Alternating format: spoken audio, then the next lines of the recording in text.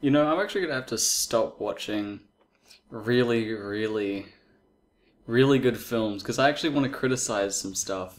I really want to criticize some stuff, and I'm finding it very, very difficult when I watch really great films like Wild Strawberries and Fanny and Alexander. And don't get me wrong, don't get me wrong, good films are great to watch. Obviously, everyone wants to watch good films because they're good films. And Come and See, for a very smooth transition, is one of those fantastic films. A film that had been on my watch list for some time. I always loved the poster for it. It's very neon, very strange, and I knew nothing about it actually. I used to always confuse it with Beyond the Black Rainbow. It has a kind of similar looking cover, so I had no idea what this was. Of course, I ended up watching it. I'd seen a few films between this, uh, specifically Dead Man, Federico Fellini's Eight and a Half. Although Eight and a Half was fantastic, both I would have had a little difficulty discussing, I feel, and there wasn't a lot I could contribute. But on a side note, I do love Eight and a Half, and I thought that Dead Man was a piece of complete pretentious,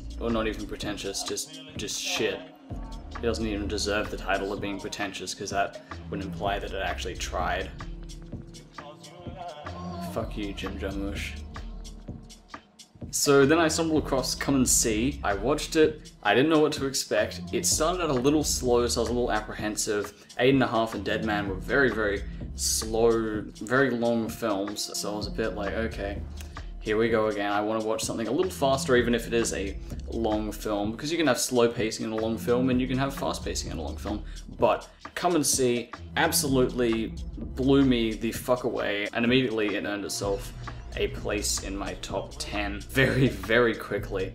It's a little difficult to review a film like this, and I feel like I've said that for Fanny and Alexander, because Fanny and Alexander has this very um, otherworldly feel to it that I was kind of trying to convey for the entire 27 minute discussion of it. But Come and See is a fair bit more material. There are a lot more physical things I can discuss with it, uh, technical aspects as well. But there is still this incredibly disturbing, gut wrenchingly sorrowful, depraved aspect to the film. And obviously, I can discuss where that comes about, but it is one of the more powerful films I've seen. I don't really like to throw around ambiguous words like powerful and moving and other words to describe emotions, but it really is. I would describe this as Apocalypse Now on steroids.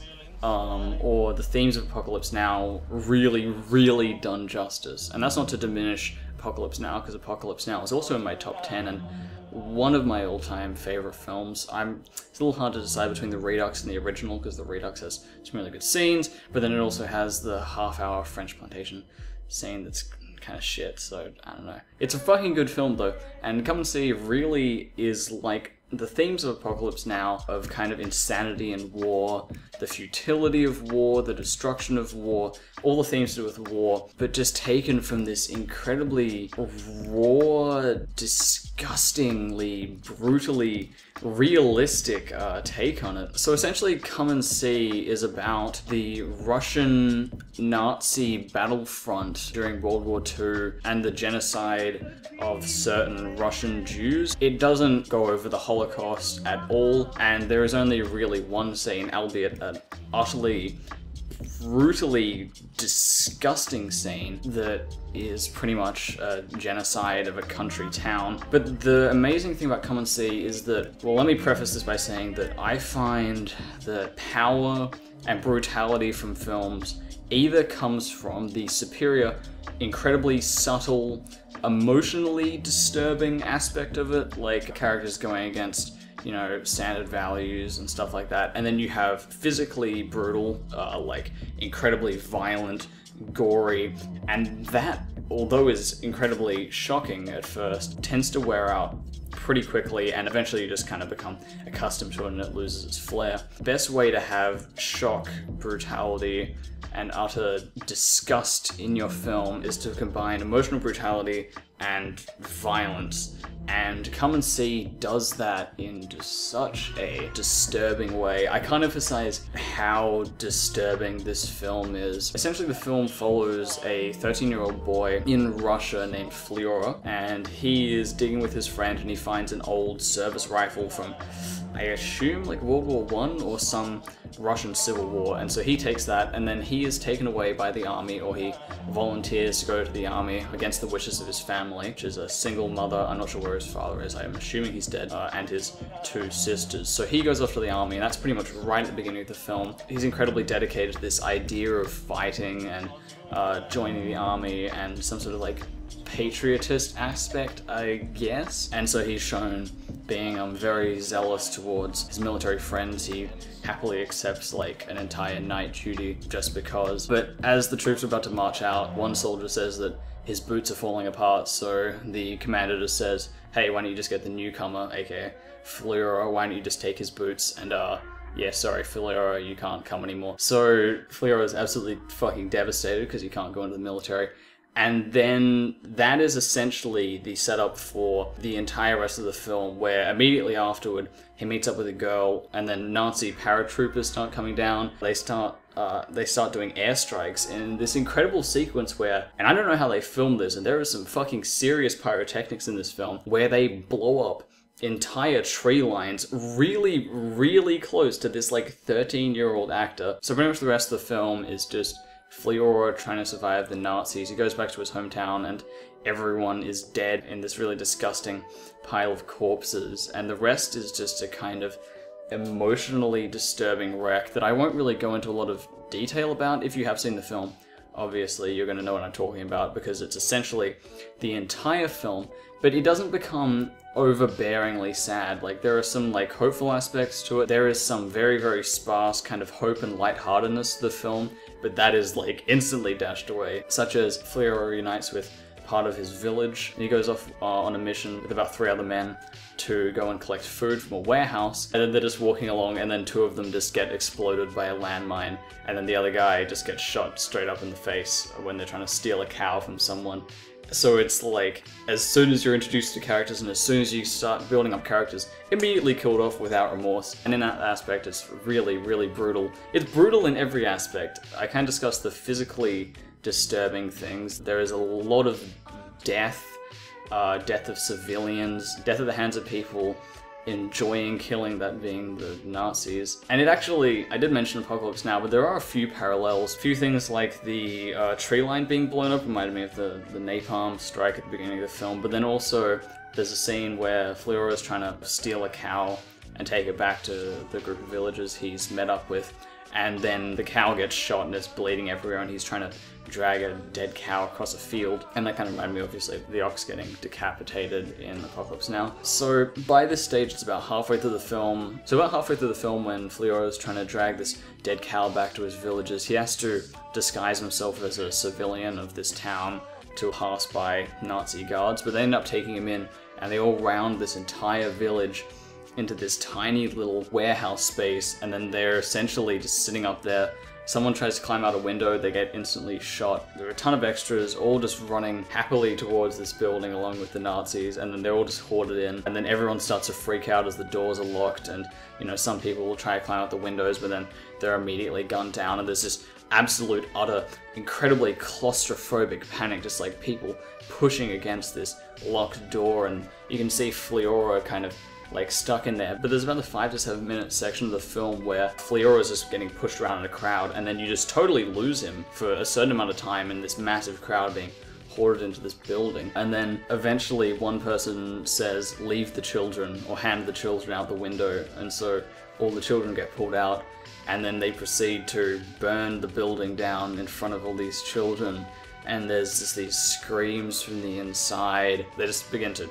shoot the burning building for absolute overkill, and everyone's laughing, and all the Nazis are laughing and throwing this. And this sounds very comical and a little bit over the top, but it is just utterly just uh, bottom of your stomach, blood curdlingly disgusting emotionally and physically. It's just the screams of these people contrasted with this these like Nazi faces laughing or just just being totally blank. The whole time Flyora is absolutely suffering. He's had a pretty much terrible, terrible experience in the film so far. His entire family is dead. The few people he tried to get food with are dead, and now this entire village is dead. And to top it all off, a group of Nazis come together and kind of drag him up, and they've like they're holding a gun to his head. And it's pretty much the most famous shot of the film of him sitting there and this Nazi commander has a gun to his head and they're all waiting there and they're all smiling happily and he's just like about to be fucking executed and they're just waiting for someone to take a picture and then they're sitting there and they just wait and then they confirm the picture's over and then they just chuck him away and walk off and it's just like oh fuck! Just just so absolutely perfectly disturbing with just a fantastic mix of violence but also like emotional trauma but the greatest thing is that they don't ham fist the childhood innocence being destroyed, a child at the hands of war aspect, you're aware of it happening the entire time, and it certainly helps having a child as a protagonist. Pretty much just contrasts the gleefulness and the idealization of war for children contrasted with what reality is actually like because he's essentially ignored as a soldier by not being killed simply because he's a child but it's really the aspect I would have wanted more out of Apocalypse Now. Of course Apocalypse Now is quite a violent film, but it's not openly as disturbing as this. Of course, I think Apocalypse Now is a fantastic film. Come and See really shows how you absolutely combine really disturbing violence. There's some very, very shocking stuff in here. I'm not sure if they actually killed a cow on film like they did in Apocalypse Now, if it was already dead. It actually looks like it's shot. Plus, from what I've heard from the behind the scenes footage, actual bullets were used, and it really looks like live rounds. There are certain sequences where there are bullets flying everywhere because Leroy is getting shot at, and it really looks like he's actually getting shot at. Like they do look like the actual live rounds whizzing past. I don't think blanks work like that. There are a few sequences where they do this um very interesting effect. So what essentially they do is they have someone in the foreground in focus, but then the background is also in focus. And I think what they do is they keep the camera in like the same position and then film the person in the foreground and then film them out of the scene with the background in focus and they just splice them together, like physically. I I've seen the effect in Stalker. Maybe it was a lot more refined in Stalker if it was done. It looks very, very strange because it's not normal for uh, obviously your vision to be in focus for two things that are so far apart. But they do that a few times when it's a lot of close-ups on his face of just the horror he's seeing, and oh my god, it is just the deterioration of his mental state and his character. And mind you, there is not a lot of dialogue in this film, uh, barely any dialogue in the second half. Uh, maybe like a couple of lines at max from his character. There's a fair amount of dialogue from the other characters, but he just gets this look, just the absolute dead thousand yard private Pyle stare, but like beyond that, and he's kind of just wrinkled and, you know, he's seen some shit and you've seen some shit because you've been watching him see some shit, and it's fucking disturbing. So pretty much that shot of him like about to get shot, uh, it kind of pulls away, and there's a close up of him, and I was like, wow, okay, brilliant film, my god, uh, fantastic.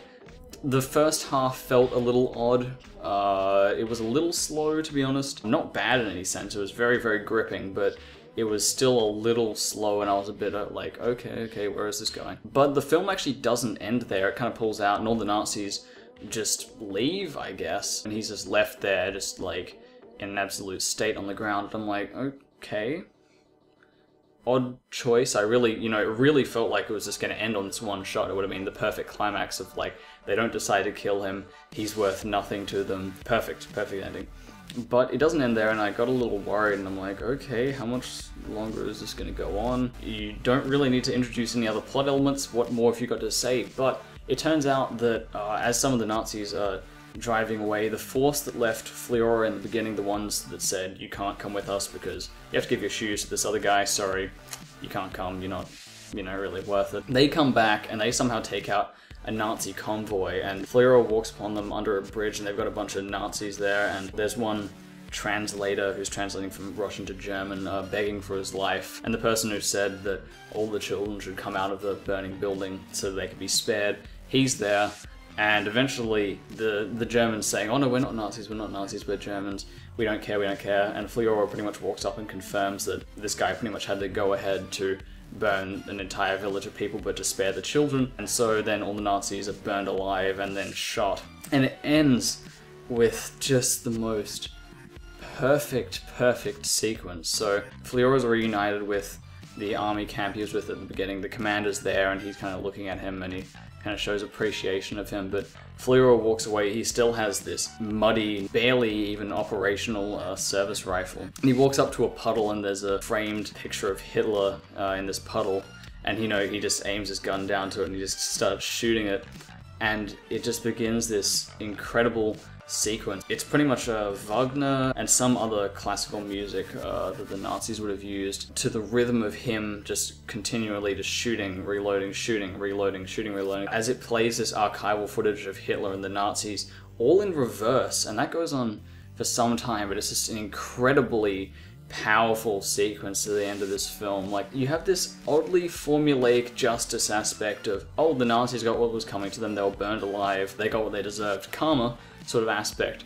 But then you see that obviously Fleuriora will never be the same. He's had to endure the most awful experience, and it's just him just shooting Hitler's face over and over and over again. And as this archival footage plays very epileptically in reverse, and every time he shoots again, it shows Hitler's face, and the film wavers and jitters all over the place. And eventually, it ends with just a very, very slow focus on an old picture of his mother and then down to him as a baby and then a last bullet shot and if that wasn't enough and i really thought it would end there again because that's like oh my god i jesus like okay i now understand what more you wanted to comment and that was only in 10 minutes and i really didn't expect it to do that and that's just the perfect elevation you know the destruction of his own character the destruction of innocence nazi justice but it's very very pyrrhic and then it ends even fucking it just keeps uh, getting more and more fantastically disturbing.